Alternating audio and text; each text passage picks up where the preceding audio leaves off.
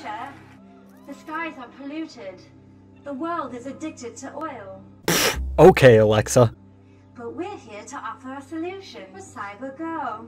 Hold up, hold up, Siri. You mean to tell me that we're gonna have cyber whammon in the future? I promise. Shut up and take my money. I now present to you my Daddy. Daddy Elon's home. Hey. I love you guys too. I love you guys too. No, you're breathtaking. Welcome to the Cyber. Truck. They should have got the guy from Fortnite to do that part. Trucks have been basically the same. We want to try something different.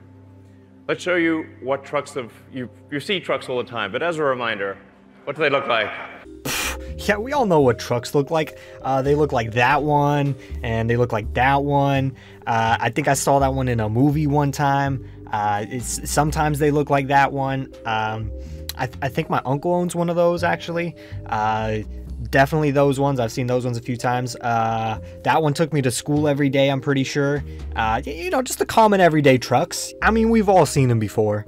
It's actually hard to tell. It's hard to tell which which is which, really. Um, we need something different. So I present to you the Cybertruck.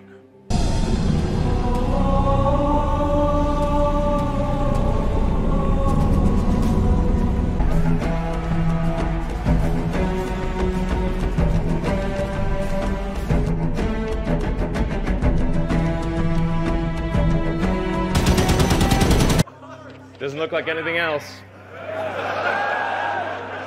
We'll start off with the inspiration. Mm-hmm.